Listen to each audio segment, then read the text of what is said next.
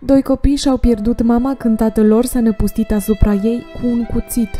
Ei au fost martori la tragedia aceasta, iar imaginea mamei lor prăbușită la pământ nu o vor uita prea curând. Rămași fără părinți, cei doi frățiori, Ioanci, în vârstă de șase ani și Raisa, în vârstă de patru ani, sunt crescuți de bunica lor, care nu are posibilități financiare. Ajută-i pe cei doi copii să poată avea un trai decent.